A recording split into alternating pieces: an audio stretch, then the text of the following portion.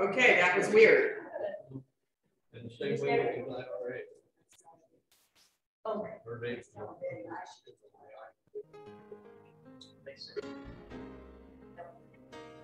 I'm created for you alone. Born with the price, I'm not my own. I'm seated then you forever, Lord. I'm created for you alone.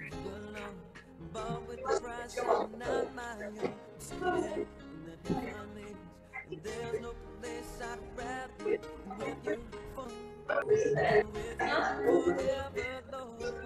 Lord. Then with you forever, Lord. You are my treasure.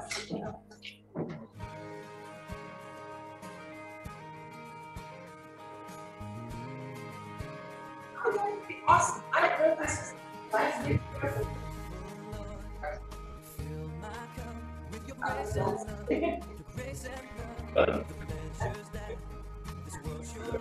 world can never be enough. Can never be enough. 'Cause I'm created you alone. Born with the price, I'm not my own. Seated in the heavenlies. There's no place I'd rather be than with you forever, You are my Yeah.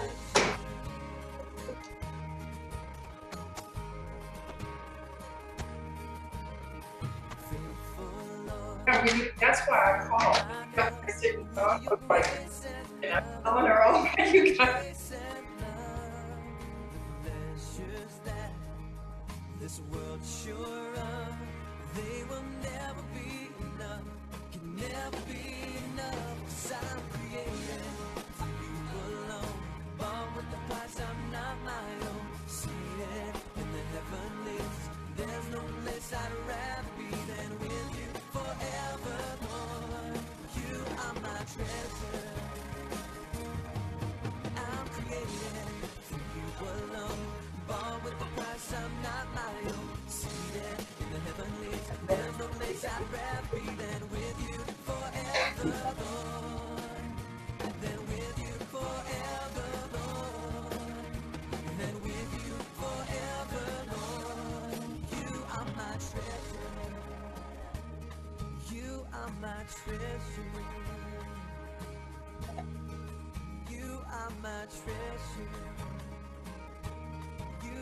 Are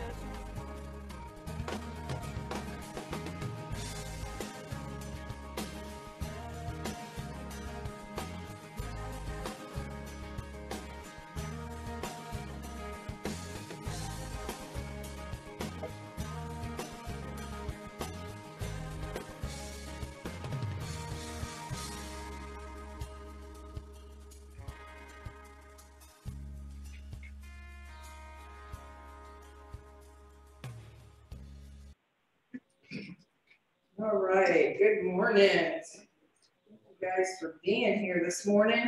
Let me get the live feed on again. For some reason, I just decided to turn it off. I know we have folks that join us on Facebook Live, so it's good uh, that we have Cinda and Linda Clutter and looks like Cosette um, joining us via Zoom.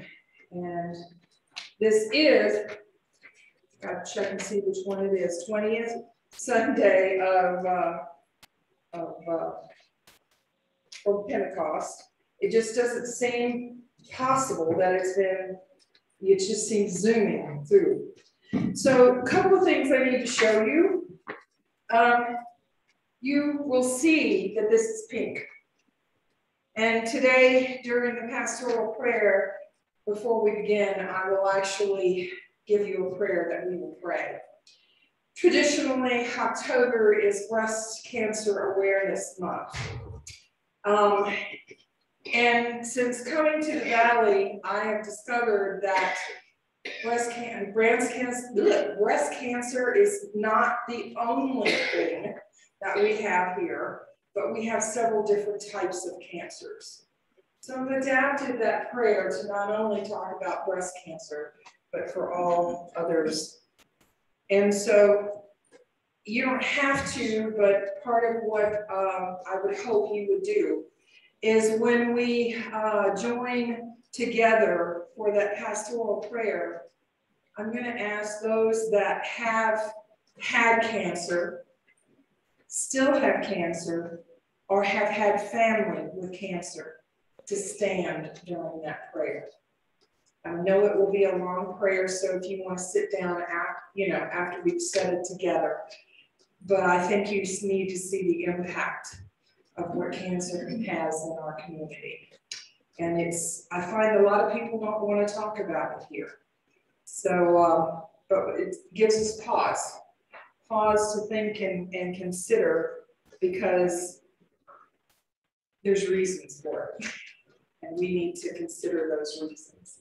Looks like we're having internet issues again. So, hey, wow. Cinda, Linda, and, and Cosette, Facebook is timing out and timing back in. So hopefully we'll be able to begin and have no problems. If you were not here last night, you missed a blessing. And somebody said, well, why did you have that happen last night? I did that because I knew everybody would not come yesterday morning, which was also a wonderful blessing. And it was as if God had planned it specifically for us with a rainbow and uh, the rain. I mean, it was like everything was perfect. And literally, I'm sure every beautiful aspen leaf is on the ground by this morning because the winds came in the afternoon and it was just perfect. It was like God said, Oh, they're coming to my house. I want to make sure everything is perfect. And, uh, but I knew everybody couldn't come to that. And I, I wanted to make sure that you got to hear Jeff, have the opportunity to hear him. Um, he's an amazing, amazing musician, very modest, um, very talented. And I, I so appreciate the fact that he wanted to come and uh, share his talent with us.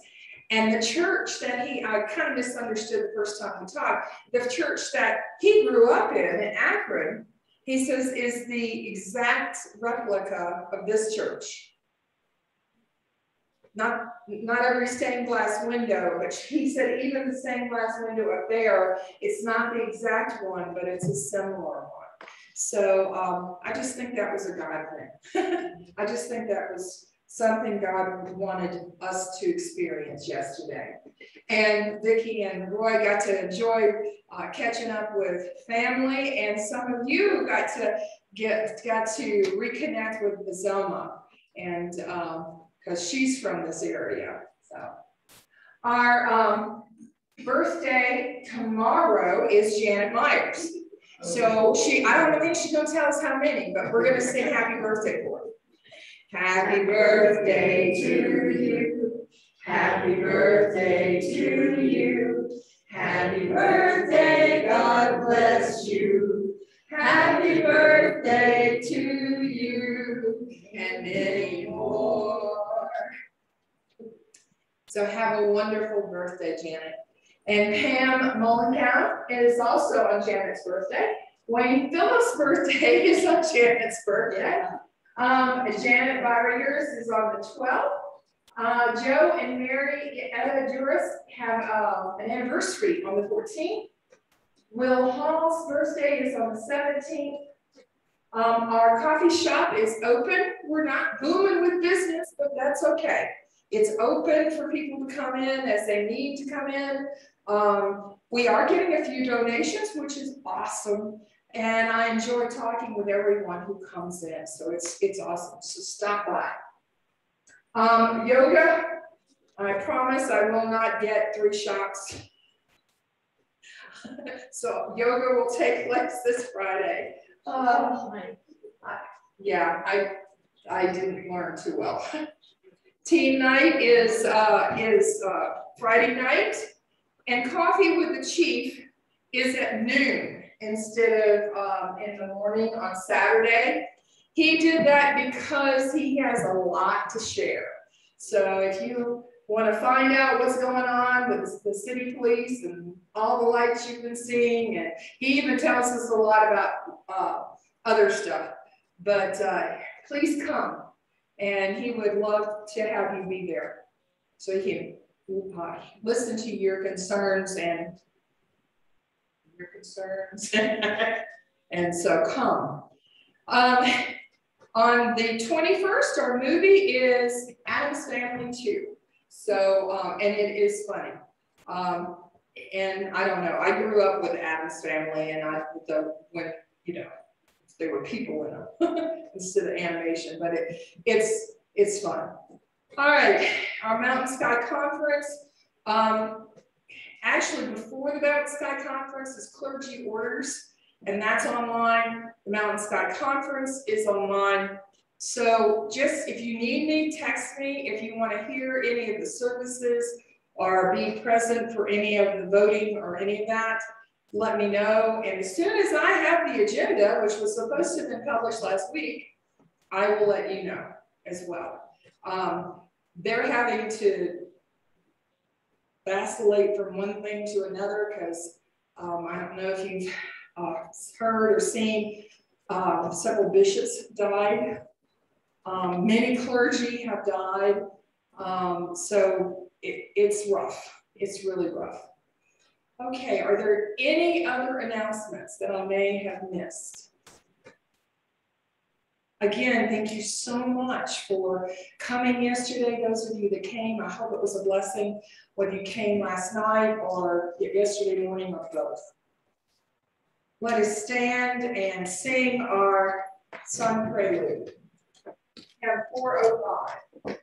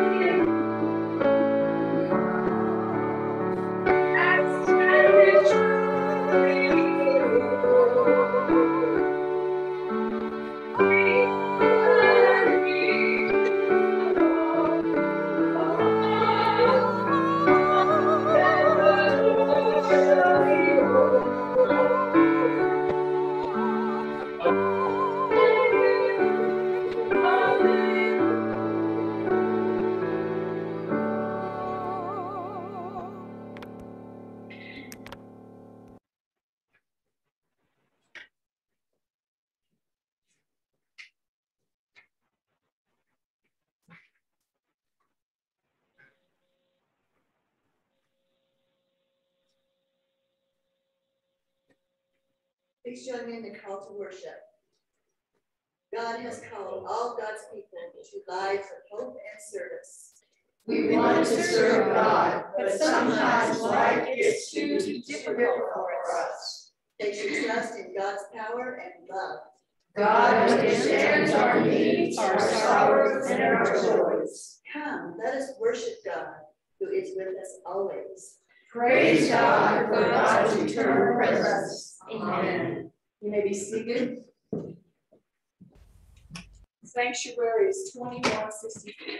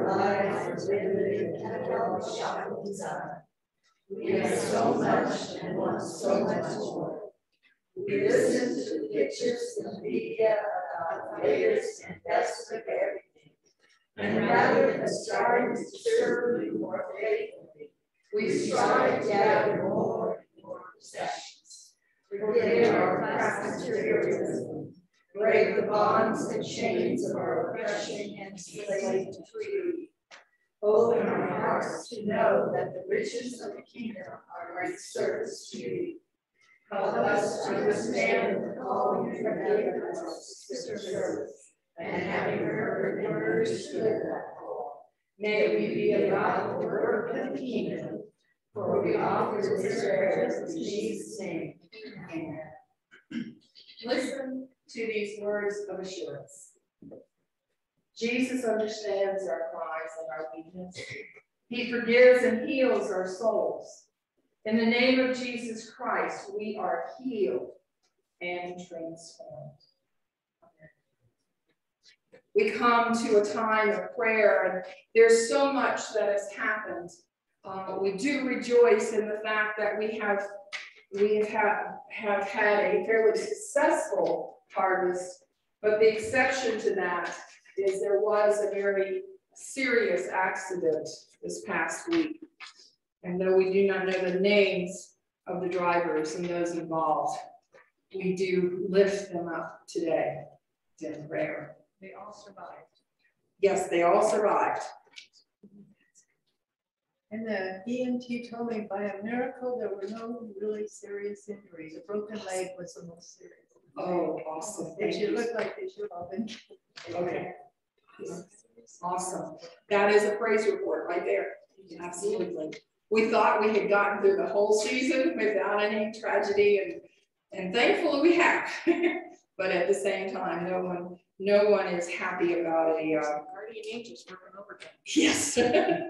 Yeah, God's having to have some in the, in the heavenly ICU. probably.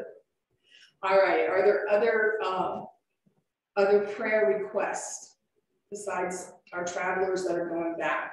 Mhm. About the time I was ready to take Gordon Lynch and my sister Monica to Liz, he fell, he went to the bathroom while she was walking the dog. He went to the bathroom and fell into the, or over the edge of the bathtub. When she got home, his lips were blue.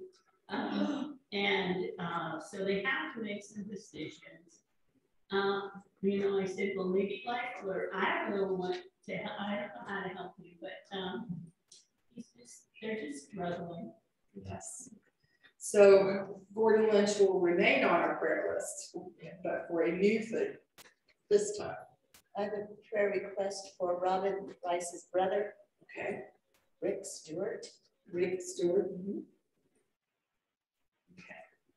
Any others? Um, Christina Ratzlaff is still cooking.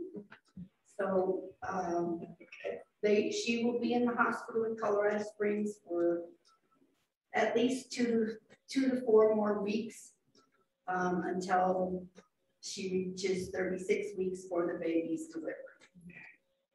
That's good news too. All right, let us go to God in an attitude of prayer. And as I give you these very bright pink things, I'm going to ask that, uh, uh, would that be awesome? I would ask you to stand, first of all, if you've had any bouts with cancer yourself.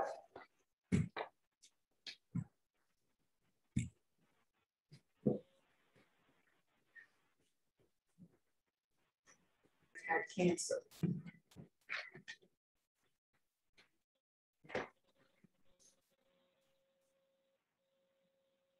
Yeah, thank you.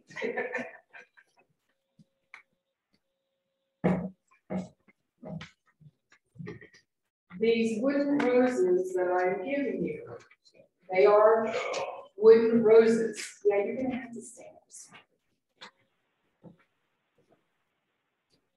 And if you have never had a wooden rose before, they're very fragile. And that is exactly the way people who have had cancer are. And so as you hold that rose and you join me in the prayer that we will pray, know that those that are still living every day with cancer, um, even though they may be clear, they never say you're cured. they say you are in remission. And so um, that, that's something in their life they will always, always have to have.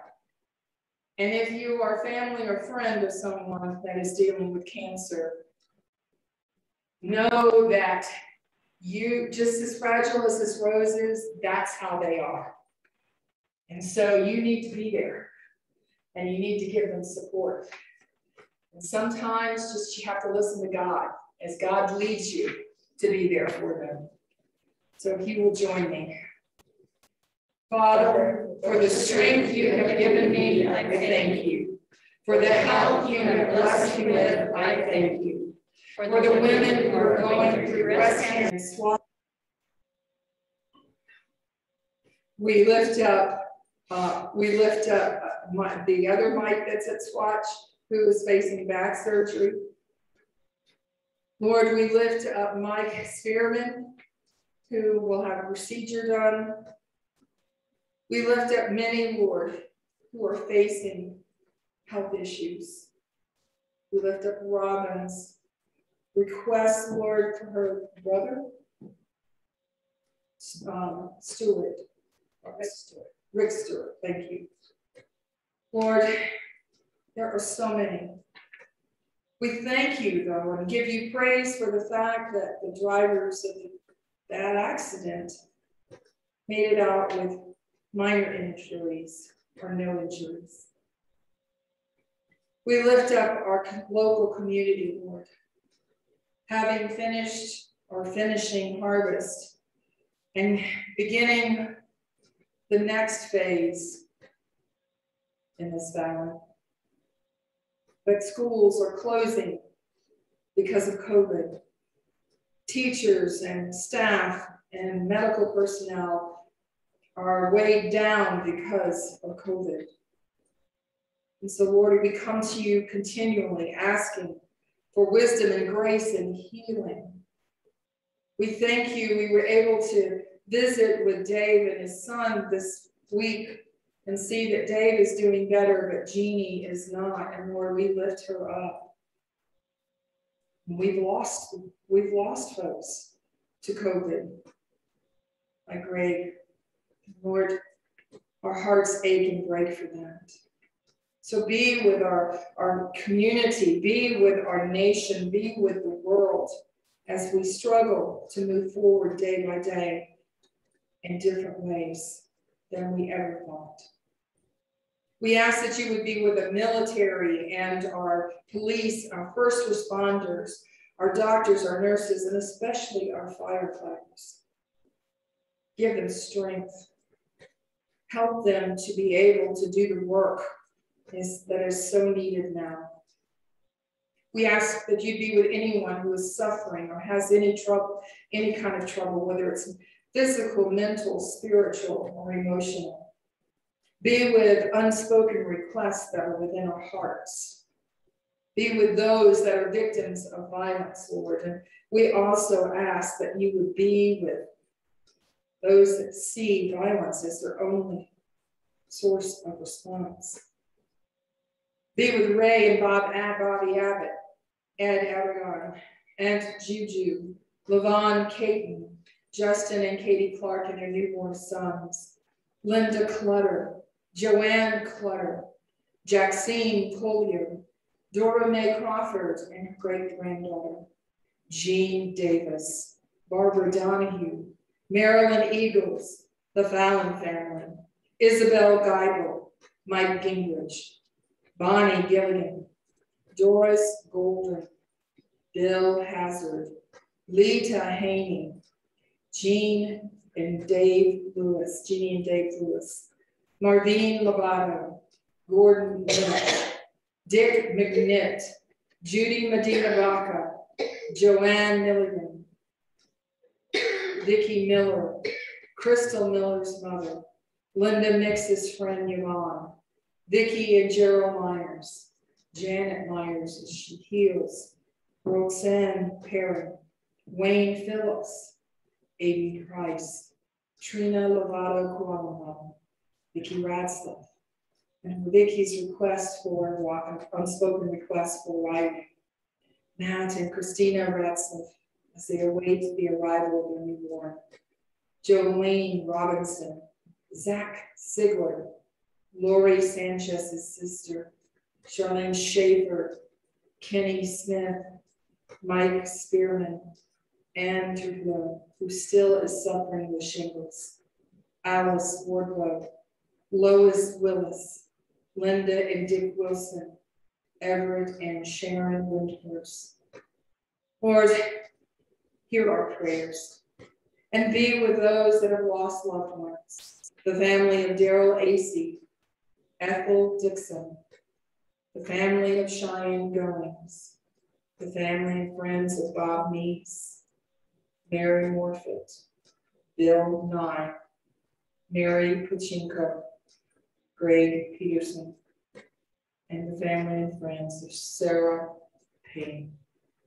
Lord, hear our prayers. As we pray the prayer you taught us to pray.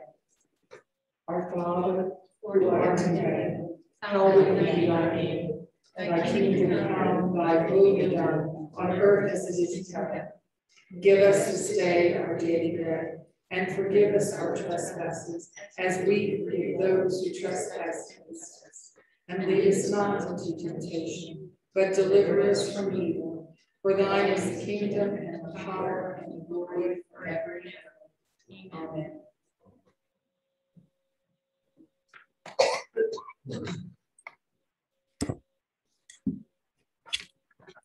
Today's Old Testament reading comes to us from Jeremiah 31, 31 to 34.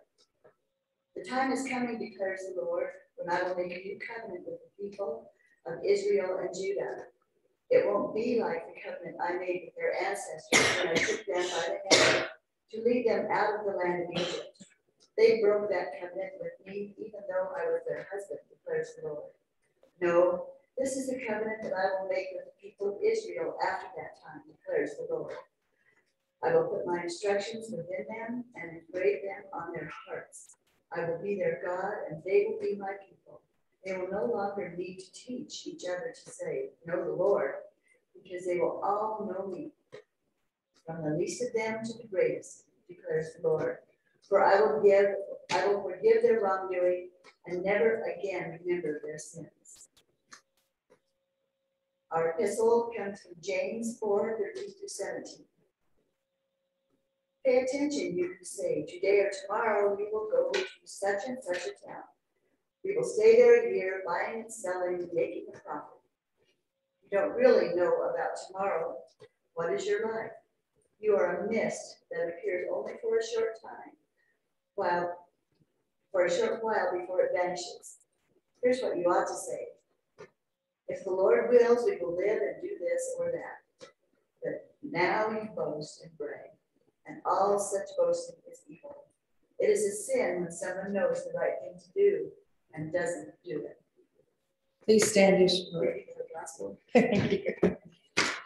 Today, we uh, read from Luke 6, 30 to 45. Give to everyone who asks and don't demand your things back from those who take them. Treat people in the same way that you want them to treat you. If you love those who love you, why should you be commended? Even sinners love those who love them. If you do good to those who do good to you, why should you be commended? Even sinners do that. If you tend to, if you lend to those from whom you expect repayment, why should you be commended? Even sinners lend to sinners expecting to be paid back in full. Instead, love your enemies, do good, and lend expecting nothing in return. If you do, you will have a great reward. You will be acting the way the children of the Most High act, for He is kind to ungrateful and wicked people.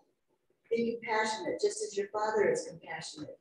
Don't judge, and you won't be judged. Don't condemn, and you won't be condemned. Forgive, and you will be forgiven. Give, and it will be given to you.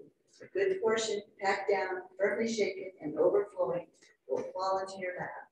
The portion you give will determine the portion you receive in return.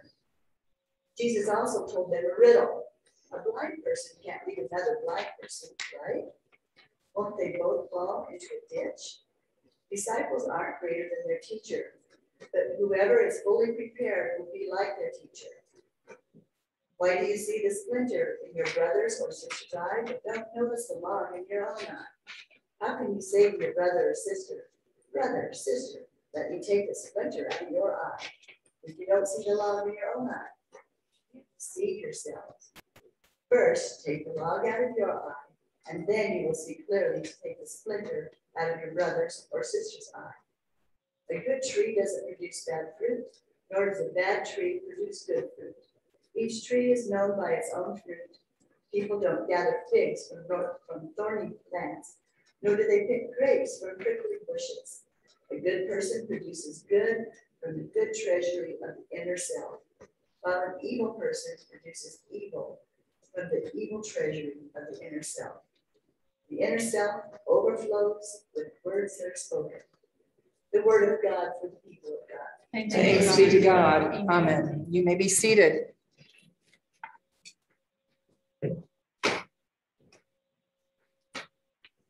So as we come to the sixth sermon on the treasure principle, we're almost finished. So before you say, oh no, not again, I don't want to do this. if you're saying that, then God is getting to your heart. That's all I can say. The scriptures say it all. They need very little explanation. It's very clear. But we rather choose not to pay attention to those scriptures. Let us go to God in prayer. Lord, we come to you this morning asking that even though this is number six of this book that some of us love and some of us are not happy with, I pray that you would open our eyes, our ears, and our hearts and our minds to the message you have for us today. And Lord, I pray that whatever I seek to speak or say or show or demonstrate would be to your glory and your glory only. In Jesus' blessed name. And all that switching back and forth, we have the camera now is working when I did when I didn't need it to work, but that's okay. All right, the treasure principle, and just as with the other ones, there's a brief video that goes with this, and they say it a lot better than I can. Uh, I've often looked at the church and wondered as the offering plate went by, how many times God says, you're right, you're right, right. Um, Only three percent were told Christians even tithe, and I think than more a lot. So I say to any Christian brother that's not getting through this, one of the greatest aspects of walking with Jesus Christ that you'll ever experience in life is to finally get of the way and be able to resolve him to others through the kingdom. As a young man, I started early in the food business and everything was going so well for me. Then all of a sudden things happened. And, uh, I go to the office with Richard, now I was fine, because I could see all the stacks of losses coming into their office, no money. Instead of things getting better, it started worse. Uh, my business went down. So I made, I just trapped it. bad. I mean, I did a lot of crying because of our business that we lost, we worked ten years of, of us together, uh, built up business. I lost everything, everything that, that, that I had worked for, the people I had worked for, Everything was gone.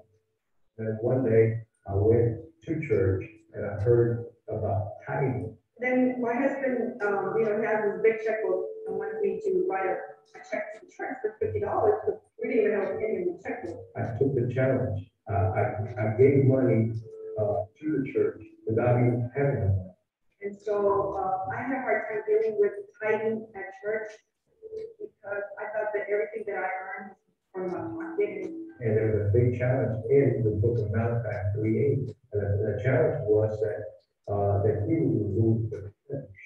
That's what the word of God say. And, and, and he would make, he would pour out a blessing that I have enough room to, to, to receive. And I said, well, you know, in my life, I tried everything else. And everything was a fail. I'm gonna try to. And I can honestly tell you that we did the check with no money in the bank. Uh, The Lord knows what happened. And ever since then, we've never lacked anything. God has blessed us, multiplied abundantly. Now that you see me out of, of a debt, two million, uh, two million, three hundred thousand dollars, and also twenty-two lawsuits, but also they make us for the outstanding corporations in the courts. Not only this nation, and the state, also, uh,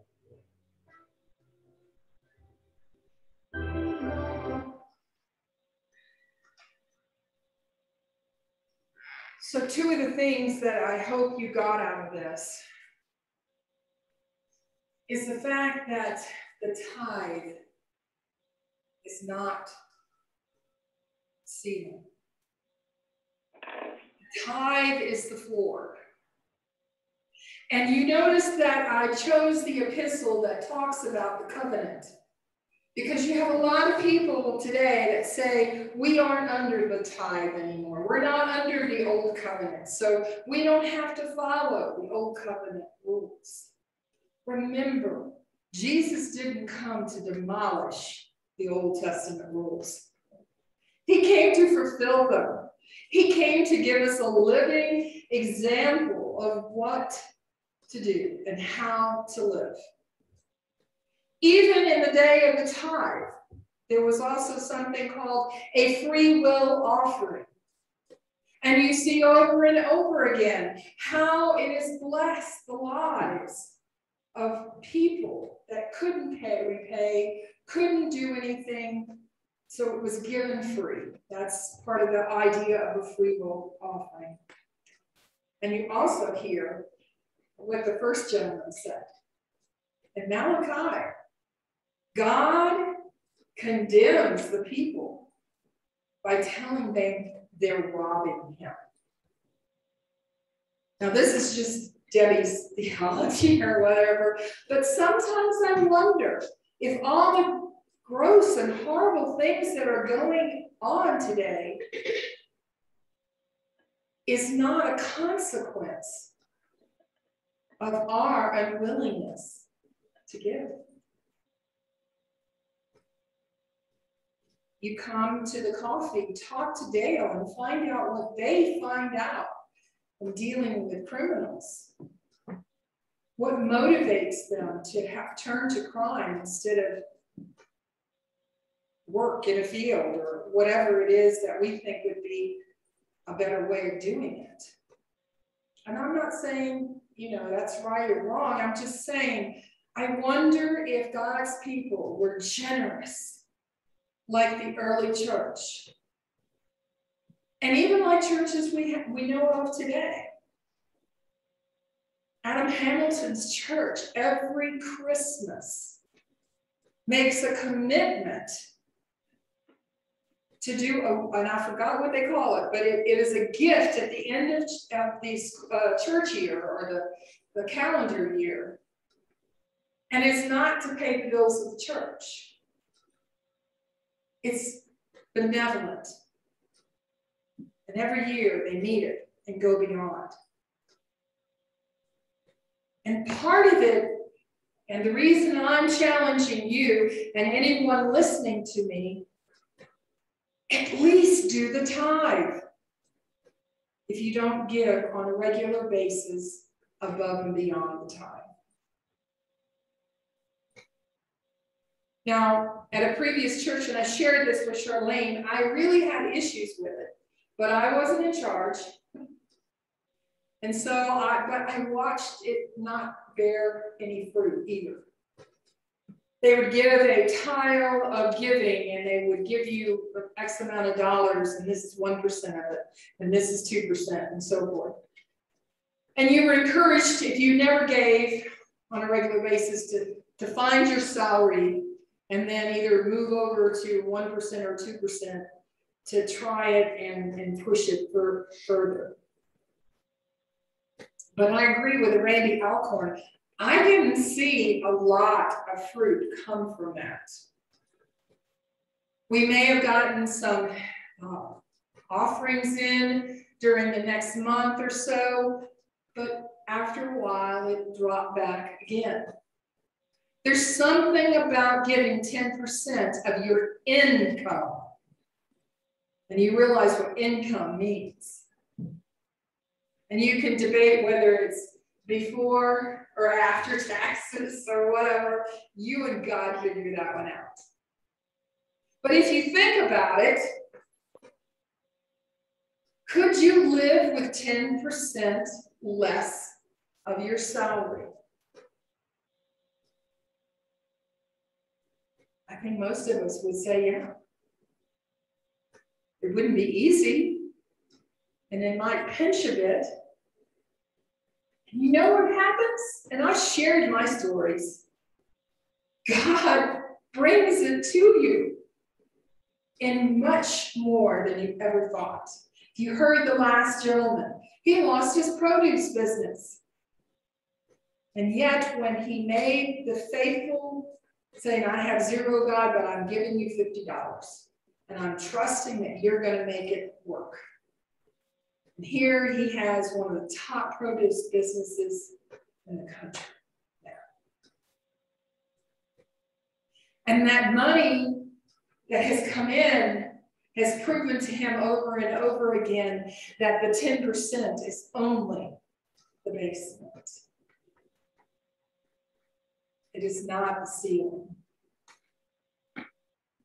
And I would ask you to, next time you hear about politicians and, and elections and things, look at the people who are giving and supporting that candidate. What kind of people are they? Are they the folks that you really don't hear too much about unless they pass away and you find out that they've given 90% of their salary away and lived on the other 5%? And granted, they are really rich, and to us, that's really easy, right? But if we're not faithful in small, then we won't be faithful in big. And that's what I found with that sliding scale percentage. Those that were willing to go the 10%, something happens when you, you go, okay, God, there's no way. There's more month than there is paycheck. There's just no way this 10% is going to go to God, going to go to the church. I'm just going to go ahead and give it. And here it is. And I don't know how I'm going to pay the insurance bill and blah, blah, blah. And before those are due, God provides. Now, most of the time, it's not like here, it just drops in your lap. I've had that happen where it just dropped in my lap and I'm like, and I shared that one with you. but there's also been those times where I do have to do the work. But God provides. He provides for my needs. He doesn't necessarily provide for your wants. He wants our desires to be his desires. So what have we learned?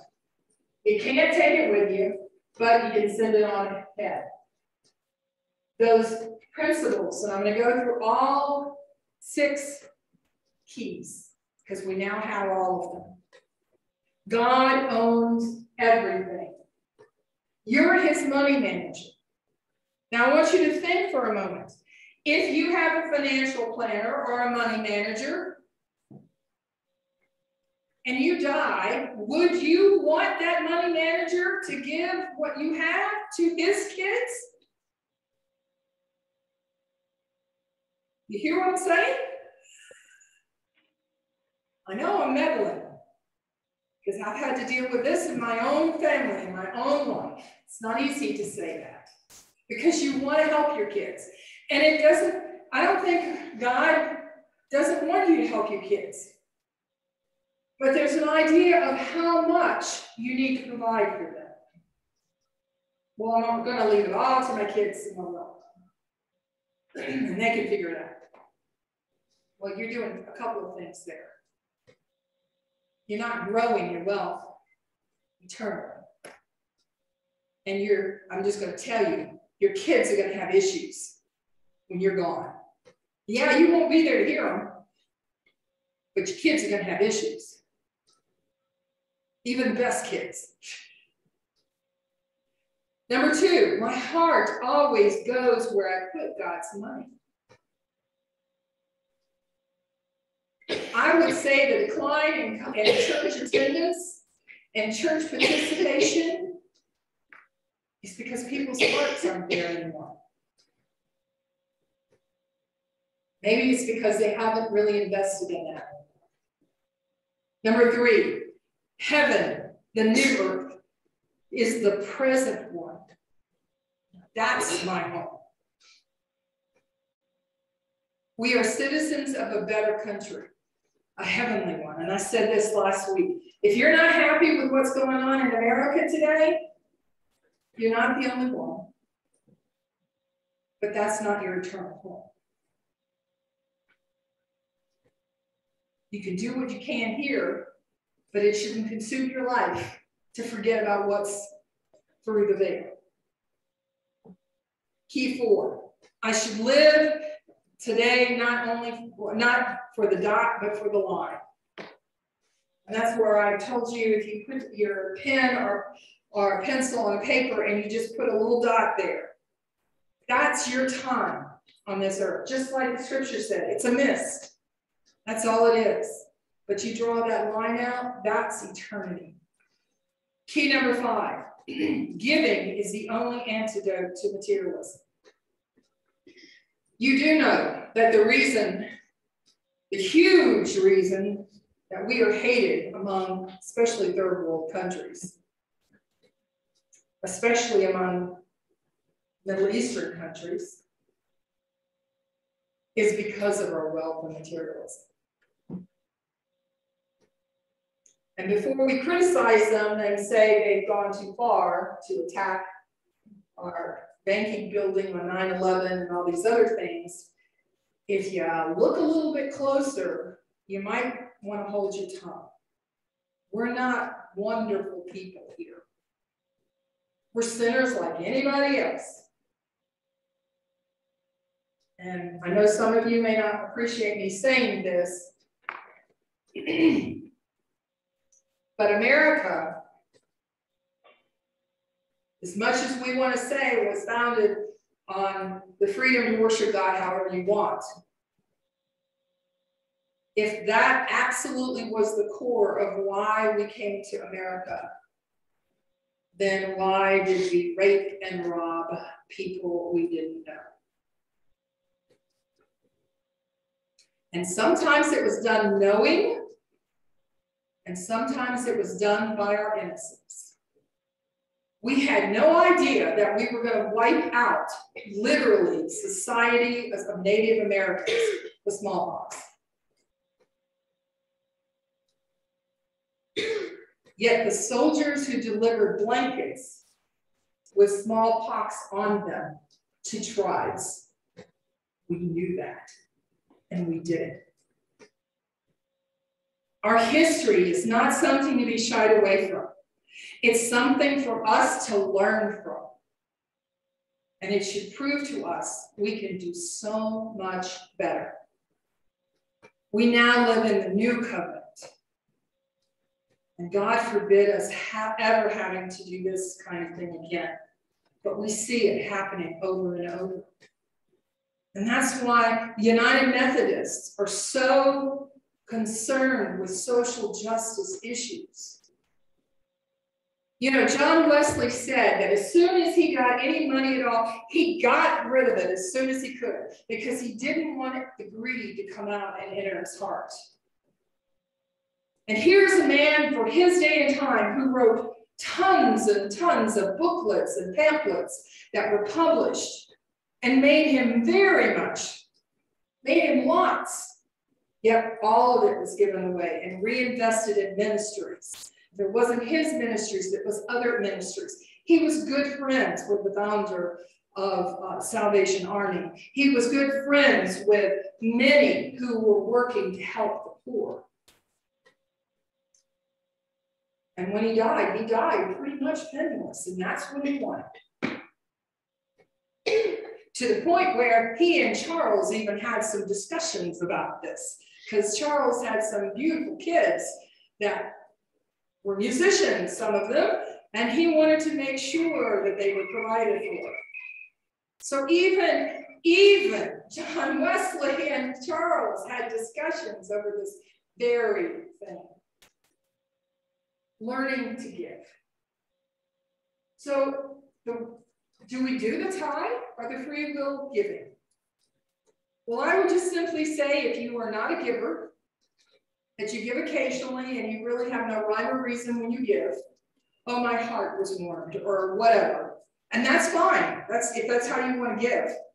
I would suggest that instead of just having your heart warmed, you start with the 10%. Start with, with what was required in the Old Testament. Remember, you have bills to pay. And we probably have the best boss in the entire world he is not one of those that's going to be, you, you can't spend this, you can't do this. No. God loves you, understands you, and we have scripture that talks, He knows your sorrows, He knows your pains, He knows what you're going to have to go through. So He's not asking you to be so tight with the penny that you won't even release it. And He understands that. But even back as far as Cain and Abel, what did God require? First fruits.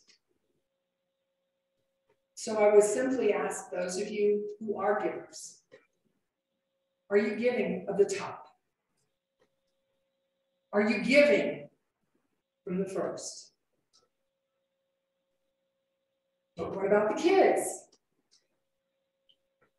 Your kids need to be considered, yes, but also understand that you can literally cripple them and their own financial future and health by giving them more than they need.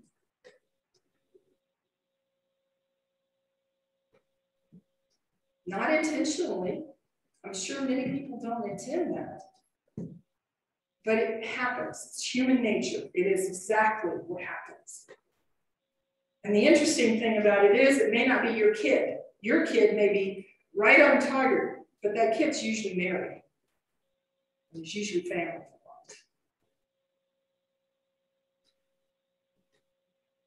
What is most important in the life of your kids? Now, this is the hard question. And for many of us, because we expect certain results, we hope for certain results, we have to give that to God. But have you put the work in making sure they had the background to know God, to have a relationship with Jesus Christ, to have their hearts strangely warmed? Because let me tell you, if they have, then they're going to turn to you and they're going to basically say, that money would be better used in service of this. Rather than sitting in there and planning, oh, gee, maybe we could buy that, that boat we've always wanted. The kids are thinking materialistically, they're going through the same struggles you're going through. They are. So it means you have a lot, little more teaching and a little more praying to do in their lives. Just because they turn 21 or 18 doesn't mean it's all over. I will tell you, your kids are your kids for their entire life, right, Lou? Right, Mary? But you can't bail them out of every struggle that comes along. Those are lessons they have to learn from. And you're not gonna let your kids starve, obviously, I understand that. Your grandkids too, man, those tug, really tug at your hearts. But think about what you do, having long lasting and eternal results. Giving after I die. Well, I've put some of my, my will in uh, either foundation or uh, giving to certain causes, and, and that's great.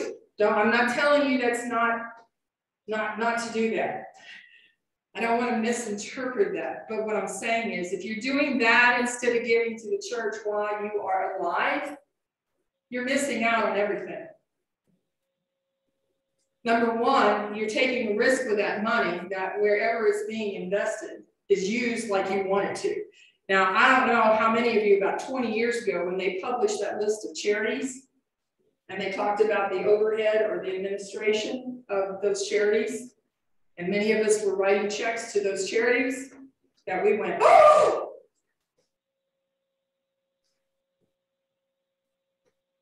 So if you know something that needs to be given to, I would suggest that you do it now, but you can make sure it goes to where you want it to go. If you're dead, you have no choice in the matter. And if you put off giving, what ends up happening is you usually don't give. Well, I'll wait till the end of the year. I'll wait to see how my taxes work out, or whatever the case may be. That's putting the cart before the horse. And can a cart move very well that way? No. It, it can move, but it just doesn't move very well. And the last key of the treasure is God prospers me, not to raise my standard of living, but to raise my standard of giving. You know, God wants you to prosper. So that the more you have, you the more you have to give. He doesn't like you having to say, okay, I'm writing this $50 check and it's probably gonna bounce. He doesn't want you to have to live that way.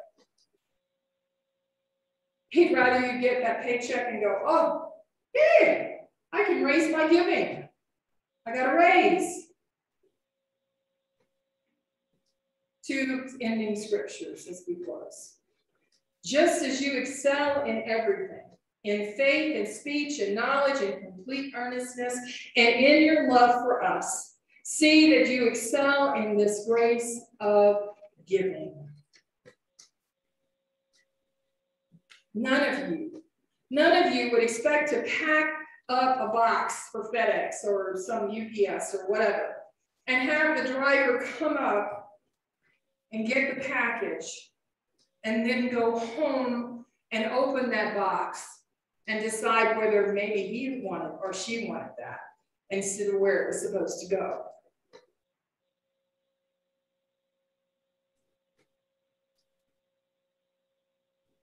We call that what? Theft.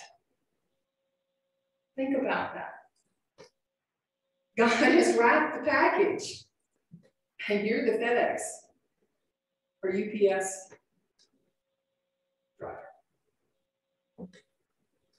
You will be made rich in every way so that you can be generous on every occasion. And through us, your generosity will result in the thanksgiving to God.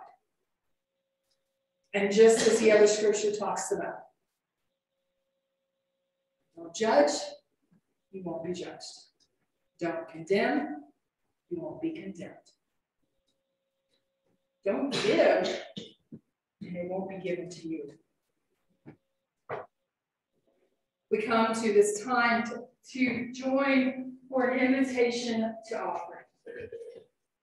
Generous God, in abundance, you give us things both spiritual and visible. Help us to hold lightly the fading things of this earth and grasp tightly the lasting things of your kingdom, so that we are and do and say may be the gifts to you through Christ, who beckons all who seek the things above, where he lives and reigns with you and the Holy Spirit. Amen.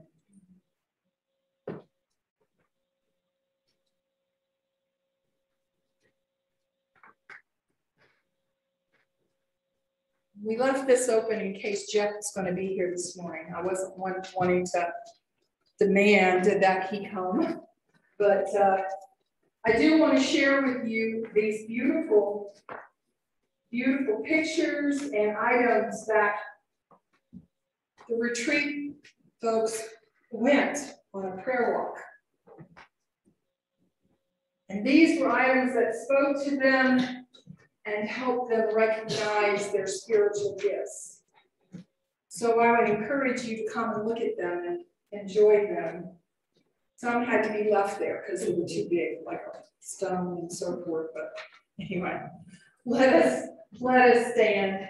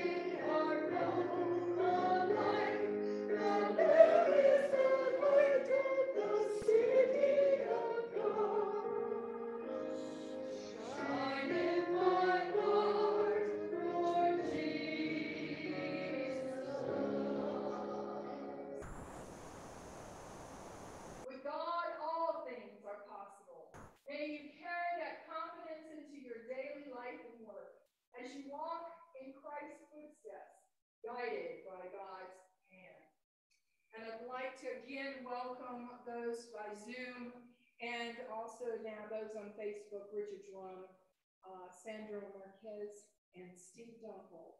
Thank you so much for being with us as we close with the second verse of God be with you till we meet again.